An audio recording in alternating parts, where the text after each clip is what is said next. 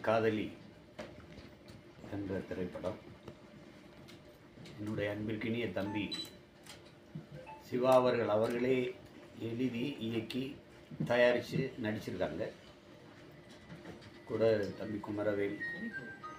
பெரிய நடிகர்கள் இல்லைனாலும் திறம்பட்ட நடிகர்கள் கலைஞர்களை வச்சு புதியவர்களை வச்சு இயக்கியிருக்காங்க. நல்ல முயற்சி. மனிதன் பழகு மனிதன் நேசி. அதான் அவர் இதில் போட்டிருக்காரு. அதை தான் வலியுறுத்தியிருக்கிறார் படத்தில். அப்புறம் அந்த நூறு நாள் வேலை திட்டத்தால் வேளாண்மை எவ்வளோ தூரம் பாதிக்கப்பட்டிருக்கு? எவ்வளோ தூரம் அது அதை நல்லா வலியுறுத்தி சொல்லியிருக்கிறாங்க அஹ் நம்ம ஏற்கனவே சொன்னது தான் கேரளாலாம் அப்படி செய்யலை. மனித ஆற்றலை உழைப்பில் ஈடுபடுத்தி உற்பத்தியை பெருக்கி லாபத்தை ஈட்டுகிற நாடுகள் தான் வாழும் வளரும். அதான் எதார்த்தம் சோம்பி இருப்பதற்கு காசு கொடுத்து உழைப்பில் இருந்த மக்களை வெளியேற்றுவது வந்து பேராபத்தான ஒன்று.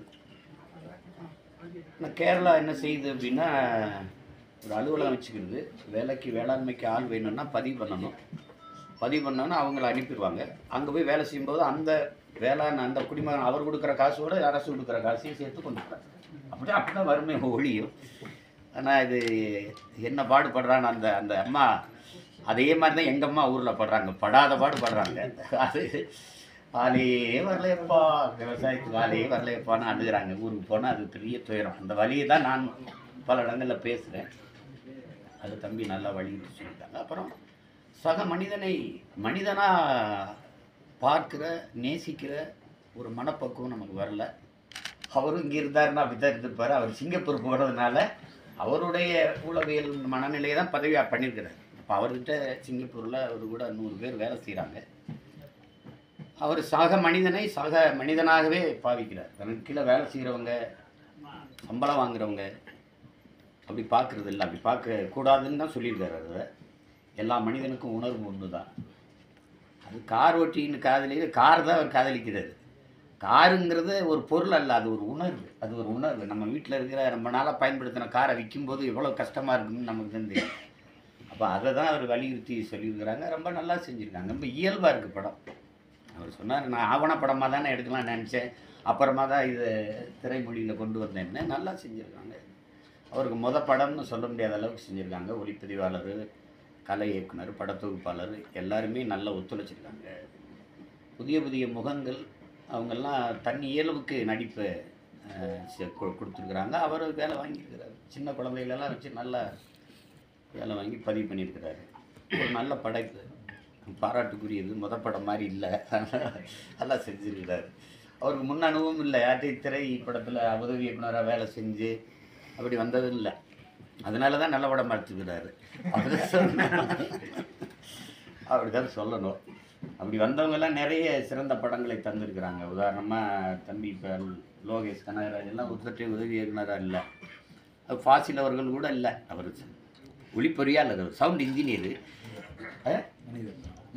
மணிரத்னம். அவர்கள்லாம் யார்ட்டையும் உதவியாளராக இல்லை. திரைப்படத்தை பார்த்து திரை மொழியை கற்றுக்கிட்டு மறுபடியும் திரைப்படத்தை சிறந்த படைப்பாக கொடுத்தாங்க.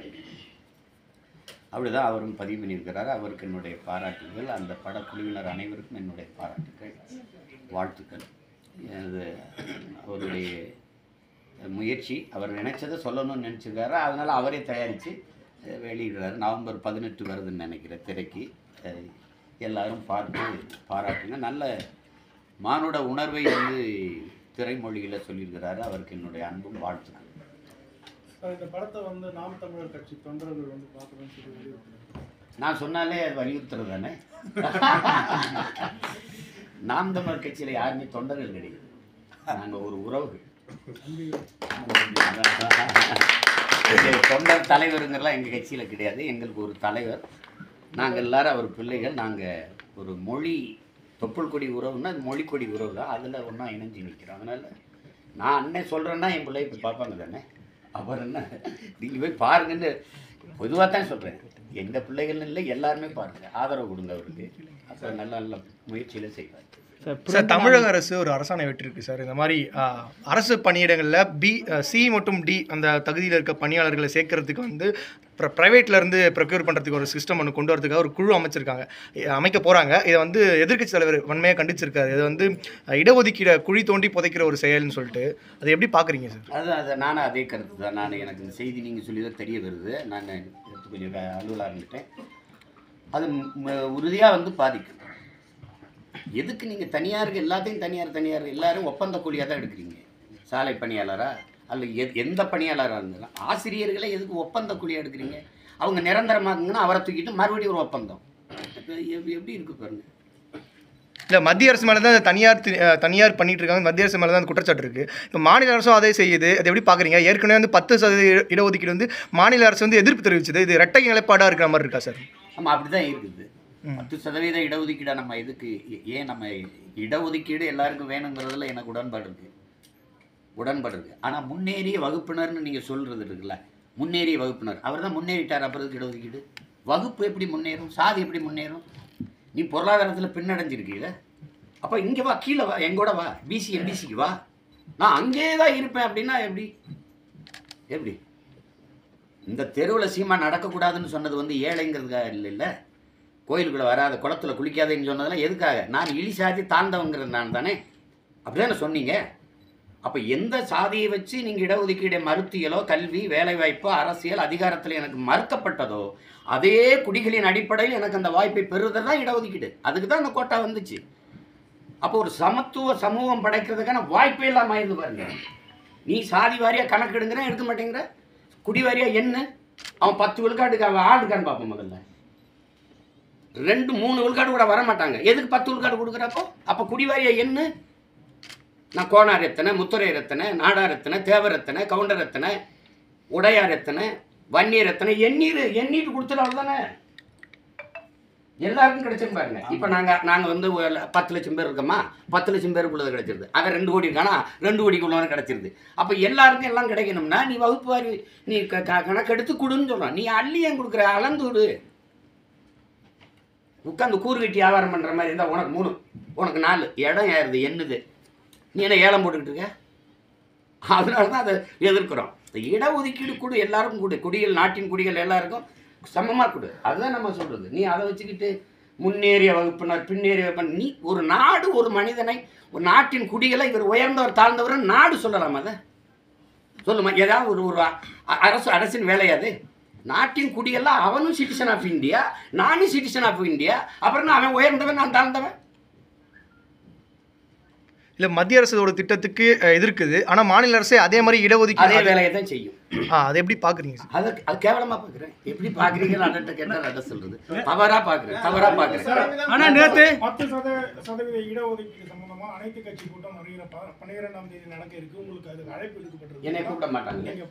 என்னை கூட மாட்டாங்க. அது இதுவரைக்கும் அவங்க வந்து எப்படின்னா ஐயா எடப்பாடி பழனிசாமி இருக்கும்போது அனைத்து கட்சி கூட்டத்துக்கு எனக்கு அழைப்பு வந்தது. பல முறை போயிருக்கேன் ஐயா ஸ்டாலின் அவர்களோட ஐயா பொன்முடி பங்கேற்கும்போது நானும் பங்கேற்றிருக்கேன் அண்ணன் கமலஹாசனும் பங்கேற்றிருக்கிறாங்க இவங்க வந்து சட்டசபையில் உறுப்பினராக இருக்கிற கட்சி தான் அந்த கட்சியை தான் கூப்பிடுவாங்க இப்போ. இவர் வந்ததுலேருந்து கூப்பிடலையே. அனைத்து கட்சி கூட்டத்துக்கு என்ன அழைக்க மாட்டாங்க. அனைத்து கட்சி கூட்டம்ன்றதுதான் அது. அது அவர்கிட்ட தான் கேட்குறீங்க ஆனா ஓ- ஐயாட்ட தான் கேட்கணும். சார், ஆனா ஆனா மக்களுடைய- பாத்தீங்கன்னா theatre rights வந்து ரெட் ஜெயின் தான் ஆக்கிரமிக்கிறாங்க. அந்த மாதிரி அப்படின்னு சொல்லிட்டு ஒரு விமர்சன கருத்து இருக்கு. அதை எப்படி சார் பாக்குறீங்க? நான் கேட்ட வரைக்கும் தயாரிப்பாளர்கள் எல்லாரும் என்ன சொல்றாங்க அது பாதுகாப்பாக இருக்குங்க இயக்குனர் பாக்கியராஜ் அவர்கள் ஆதரவு தெரிவிச்சிருக்காரு. ஜெயின் மூலியமா தான் வந்து இப்போ பல படங்கள் வெளியாகிறது. அதற்கு அவர்களுடைய உறுதுணை மிகவும் வந்து திரையுலகத்திற்கு அது. சரிதான். இப்போ எப்படின்னா எல்லாரும் என்ன சொல்றாங்க? திரையரங்குகளில் வந்து சரியான நமக்கு கணக்கு வர்றதில்ல. இவங்க வந்து தெளிவாக கணக்கு க- காட்டுறாங்க சரியா. உரிய இதை கொடுத்துட்றாங்க அப்படின்னு சொல்றாங்க. அதனால அதை போய் நம்ம பேசிட்டு வேண்டியதில்லை. அது பல தடவை வரவேற்றுட்டேனே சார் இதனால தடவை பேசிட்டது பெரிய படத்தை மட்டுமே வந்து வாங்குறவங்க வந்து இந்த சின்ன படம் சொல்லுவேன் வந்து உதயநிதிட்டு சொல்லுவேன் சின்ன படத்தை வாங்கி வெளியிடுப்பா தம்பி. ஓபிசி மக்கள் அண்ணன் கூட ஒரு படம் எடுத்து வச்சுக்க அதை வாங்கி கூட நீ வெளியிடு. ஓபிசி மக்கள் தொகை கணக்கெடுப்பை நடத்த முடியாது. மத்திய அரசு திட்டவட்டமாக நேற்று மதுரை உயர்நீதிமன்றத்தில் சொல்லியிருக்கு. இதை எப்படி பார்க்குறீங்க அது வந்து அரசின் கொள்கைன்னு வேற சொல்லியிருக்காங்க. ஓபிசி மக்கள் தொகை கணக்கு எடுக்க முடியாது. அப்போ எடுக்காம இருக்குது பத்து விழு- விழுக்காடு இடஒதுக்கீடு கொடுத்தீங்க. அது கொடுப்பீங்க. கணக்கெடுத்து கொடுக்க மாட்டீங்க. அது இப்போ இப்போ பீகாரில் பீகாரில் இப்படி நிதிஷ்குமார் எடுக்கிறாரு? எப்படி எடுக்கிறாரு? ஐம்பது சதவீதத்தை உயர்த்துன்னு தான் சார் சொல்லியிருக்காரு வரும் சமூக நீதி பேசுகிற நீங்கள் ஏன் எடுக்க தயங்குறீங்கங்கிறேன் அரை நூற்றாண்டுகளுக்கு மேலே அது அப்படியே கிடப்பில் இருக்குது பல பேர் வலியுறுத்துகிறோம் மத்திய அரசு தான் சார் மத்திய மத்திய அரசு சொல்கிறதெல்லாம் கேட்கணும்னு ஒன்று இருக்கா தம்பி? அப்படி ஒன்று இருக்கா? சிபிஐ இங்கே விசாரிக்க முடியாதுன்னு சந்திரசேகர ராவ் சொல்கிறாரு நீங்கள் எல்லாத்தையும் தூக்கி என்ன ஐட்ட கொடுக்குறீங்க? மாநில உரிமை பற்றி பேசுகிறீங்க மாநிலத்துக்கு எந்த உரிமை இல்லாமல் தாராவாத்து கொடுத்துருந்தா என்ன அர்த்தம் தம்பி? மத்திய அரசு நான் ஒரு சட்டம் போடுறேன். நான் ஒரு சட்டம் போடுறேன். மத்திய அரசு சொல்லுது மாநில அரசின் சட்டங்களை நாங்கள் ஏற்க வேண்டியது இல்லைன்னு. நீ போடுற சட்டத்தை நான் அது கேட்கணும் உனக்கு கையிட்டு வேலை செய்யறதுக்கு நாங்கள் போராடி செக்கெழுத்து தூக்கில் தொங்கி போராடி இந்த நிலத்து விடுதலைக்கு பாடுபட்டோம். உனக்கு அடிமையா நான் அடிமையா? மக்கள் தொகை கணக்கெடுப்பு என்பது ஒன்றிய அரசு தான் நடத்தணும். மாநில அரசு எப்படி சார் நடத்த முடியும்? ஒன்றிய அரசு நடத்த சொல்லணும் இது சொல்லணும். அவங்க தான் சொல்றாங்க திட்டவட்டமா நடத்த முடியாதுன்னு நடத்த முடியாதுன்னு சொல்றீல உன் பேச்சை கேட்க வேண்டியதில்லை நான் நடத்துவேன். நான் வந்தவொடனே சொல்ல சொல்ல சொல்ல. யார் நீ நேப்பேன் ஹூ ஆர் யூ தமிழ்நாட்டுல தமிழ்நாட்டுல பாத்தீங்கன்னா சாலைகள் எல்லாமே வந்து பழுதாகி தோண்டி வச்சிருக்காங்க அதுக்கு வந்து மேயர் வந்து நாலாயிரம் கோடின்னு சொன்னாங்க. தொண்ணூத்தி ஏழு பர்சன்ட் வந்து முடிஞ்சிடுச்சுன்னு மழைக்கு முன்னாடியே சொன்னாங்க. அதுக்கப்புறம் மழை வந்ததுக்கு அப்புறம் அமைச்சர் வந்து நேரு வந்து என்ன சொல்றாங்க செவன்டி ஃபைவ் பர்சன்ட் முடிஞ்சிச்சுன்னு சொல்றாங்க. ஆனா இன்னைக்கு காலையில தாம்பரத்துல ஒரு பாதாள சாக்கடை முழுவதும் தண்ணியால் மூடப்பட்ட இதை வந்து சிமெண்ட் கலவையால மூடிட்டு இருக்காங்க. அந்த தண்ணியை கூட எடுக்காம மூடிட்டு இருக்காங்க. இப்போ இருக்கிற கவர்மெண்ட் எப்படி பண்ணுது நீங்க நினைக்கிறீங்க? இந்த காரோட்டியோடைய நிலைமையும் அதே மாதிரி தானே இருக்கு. ஏன்னா சட்டமும் நிறைய இடத்துல வந்து பாத்தீங்கன்னா ஃபைன் போட்டுட்டே இருக்காங்க. பாடுபடுறேன் நாங்க இங்க இருந்து போய் வர்றதுக்கு படாத பாடு பாடுறேன் இது சாலையே கிடையாது சரக்குரி நம்ம நாட்டில் எப்படி பண்ணுவாங்க தெரியல இந்த மோட்டர் பைக் இப்படி குழுங்காம போகிற சாக்கு அப்சர் அது வந்து டேய் சாலை சரியா போடுங்கடா டேய் சாலை சரியா போடுங்க சாக்கு அப்சரை நல்லா கண்டுபிடிச்சு குழுங்காம போறது அப்படி தான் வளர்ச்சி சொல்றது. இது பணம். கொடு- கொடுமை தான். வந்து சாலை வந்து இப்போ சின்ன மழைக்கே இவ்வளோ பிரச்சனையா இருக்கு. ஒருவேளை தொடர் பெருமழைகள் ஒரு வாரம் ரெண்டு வாரம்லாம் பெஞ்சதுன்னு வச்சுங்க முடிஞ்சுது கதை. நடந்து தான் போகணும். சார், அதுல எங்க பள்ளம் இருக்குது எங்க மேடு இருக்குது சார் தமிழ்நாட்டுல பஸ்ஸுகள் உள்ளே தண்ணிலாம் நிறைய வருது. எல்லாம் நிறைய அந்த- பல தடவை அண்ணன் பேசிட்டேன். இதுல நீங்க தான் இலவச பஸ் பஸ் கொடுக்குறீங்க இலவசம். பஸ்ஸை ஒழுங்கா ஓட்டுங்க ஐயோ. பஸ்ஸை ஒழுங்கா உள்ளலாம் கொடை கொடையை பிடிச்சிக்கிட்டு அம்மா நிக்குது ஒரு அம்மா. பஸ்ஸுக்குள்ள ஒழுகுது கொடையை பிடிச்சிக்கிட்டு. சார் ஆனா கடந்த கடந்த ஆட்சியை விட ஆனா மதுக்கடையை மூடாமையே மது அருந்திட்டு வண்டி ஓட்டிட்டு வரவங்களுக்கு ஃபைன் போடுறாங்க. மதுக்கடையை ஒரு நடத்துறவங்களுக்கு தம்பி அருமையாக போட்டிருந்தான் சாலையை ஒழுங்காக போட மாட்டேற. ஹெல்மெட்டு போடலைன்னா பெனால்ட்டி போடுற. இப்போ ஸ்பீடு வேகமாக போனால் பெனால்ட்டிங்கிறீங்க அப்புறம் எனக்கு குடிச்சிட்டு வண்டி ஓட்டினா அது பெனால்ட்டிங்கிறீங்க சாலையை ஒழுங்காக போடாத கவர்மெண்ட்டுக்கு யார் பெனால்ட்டி போடுறதுன்னு கேட்குறாங்க அது சரிதான் அது? அது என்ன செய்ய சொல்கிறீங்க இந்த திராவிட மாடல்? திராவிட மாடல் இதெல்லாம் வருது. வேற.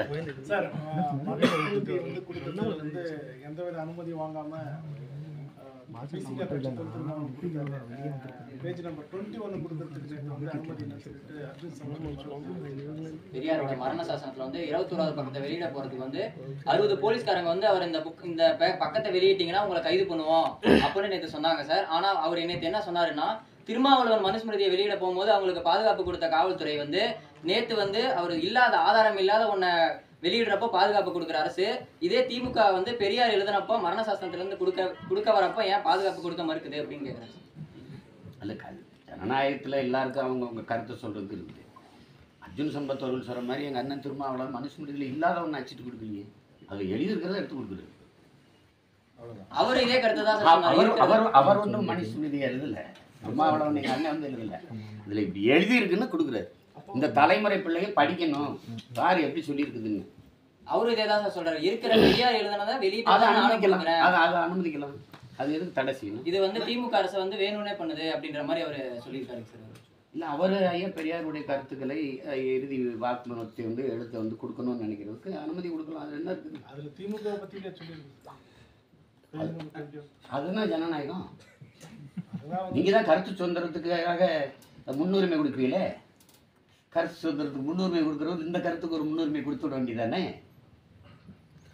ஆளுநரை ஆளுநரை கேரளாவில் இருந்து கேரளாவில் ஆளுநரை பல்கலைக்கழகத்தை அந்த துணைவேந்தர் பதவியிலேருந்து அதை நீடிக்க கூடாதுன்னு சொல்லி அந்த மசோதா நிறைவேற்றிருக்காங்க.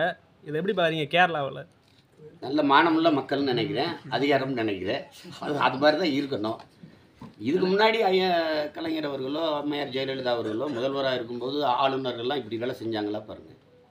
சும்மா தான் அரசு விழாவுக்கு வந்து கூப்பிடுவாங்க சட்டசபையில் ஏதாவது ஆளுநர் உரை இப்போ நிகழ்த்திட்டு போவாங்க அவ்வளோதான் செயல்படுறாங்க. பண மதிப்பிழப்பு செயல்படுறாங்க.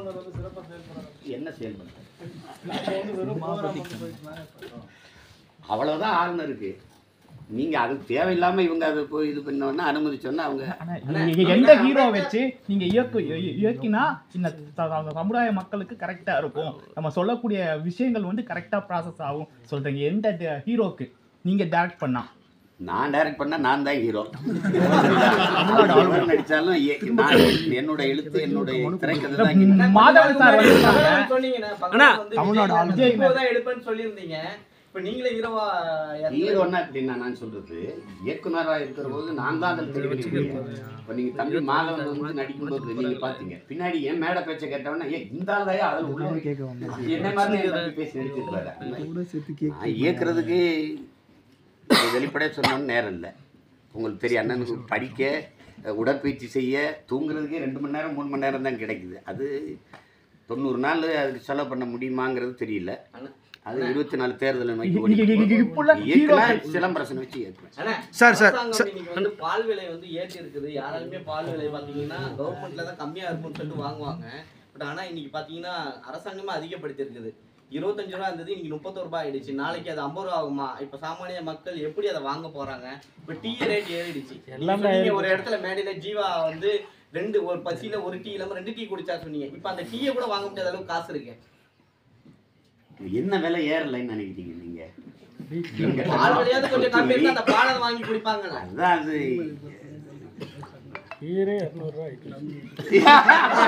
அவர் வந்து அவருக்கு பீர் இரநூறுவா ஏறிடுச்சு. மக்கள் இதெல்லாம் மனசுல வச்சுக்கிட்டு ஒரு மாற்றத்தை நோக்கி வரணும். இல்லைன்னா தலையில அடிச்சுக்கிட்டு வயிற்று அடிச்சுட்டு புலம்பிட்டு இருந்தெல்லாம் ஒன்றும் புண்ணியம் இல்லை என்ன? அதான் புரட்சியாளரான அம்பேத்கர் சொன்னதான் இழந்து விட்ட உரிமைகளை பிச்சை கேட்டு பெற முடியாது. போராடித்தான் பெற்றாகணும். இதுக்கு அதுதான் வழி. அண்ணன் வந்து வாங்க ஆடு மாடு வளர்ப்போம்னா எல்லாம் சிரிக்கிறாங்க.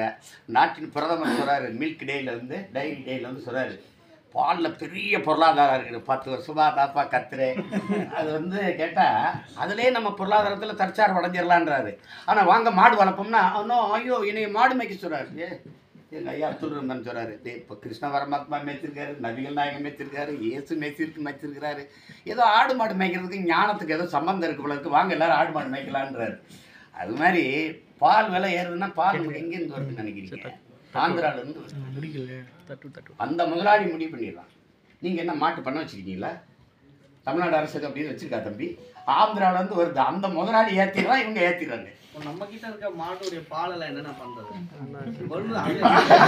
மாடு எங்க வச்சிருக்க? மாடு எங்க வச்சிருக்க?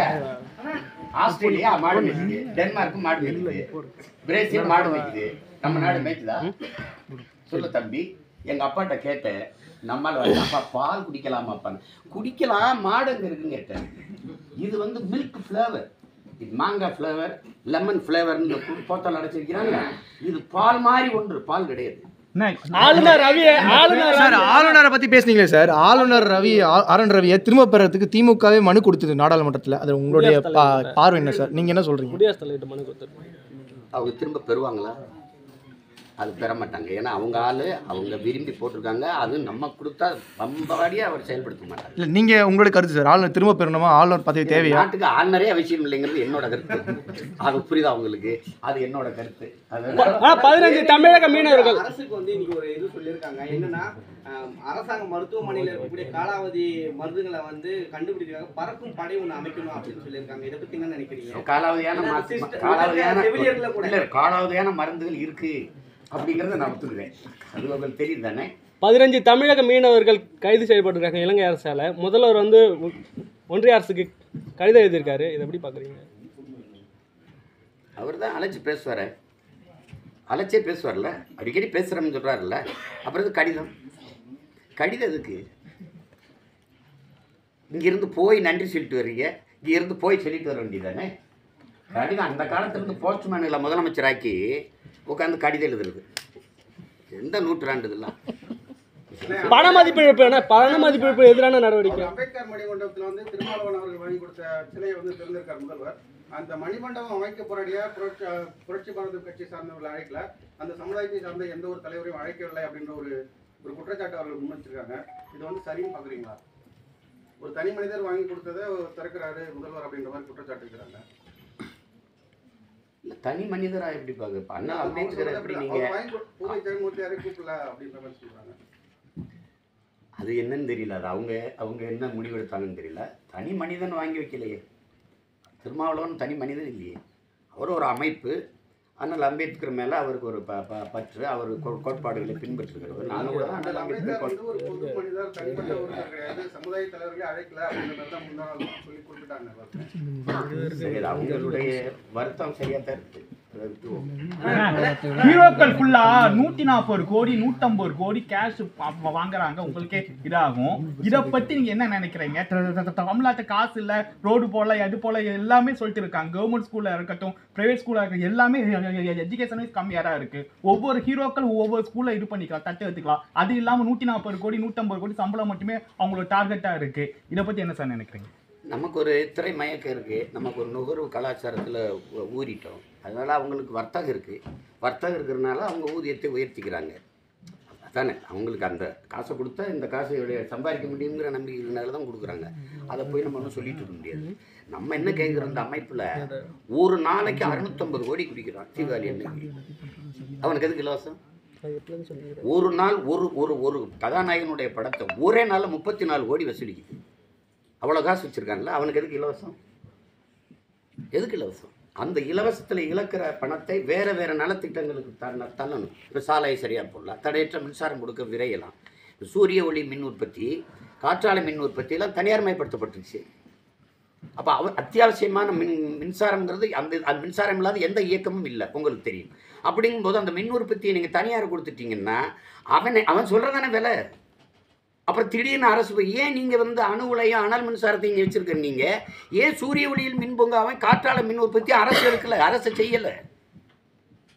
எவ்வளவு ஆபத்தான போக்கு. என்ன உலக நாயகன் அவருக்கு பிறந்த நாள் போயிருக்கு. நீங்க கட்சி தொடங்கணுன்னே நீங்களே போய் நேரா பூச்செண்டு கொடுத்து வாழ்த்து தெரிவிச்சீங்க. அவர் பிறந்த நாளுக்கு நேரடியா வாழ்த்து தெரிவிச்சீங்களா? போனீங்களா? நீங்க என்ன கேக் வெட்டல? இல்ல வருகின்ற வருகின்ற எலெக்ஷன்ல கூட்டணி அமைப்பீங்களா அவருக்கு ஏன்னா நீங்க என்ன கேக் வெட்டல? இப்ப கேக் கூட கொண்டு வந்துட்டாங்க. அது பழக்கம் இல்லை. அண்ணா இது மக்கள் நீதி மையத்தோட கூட்டணி ஏதாவது அமைக்கிறதுக்கான வாய்ப்புகள் இருக்குமா? அவங்க உங்ககிட்ட வந்து பேசுவாங்களா? எங்கள் அண்ணன்ட்ட போய் கேளுங்க. ஆனால் வாக் வாக்காளர் அடையாள அட்டையுடன் வந்து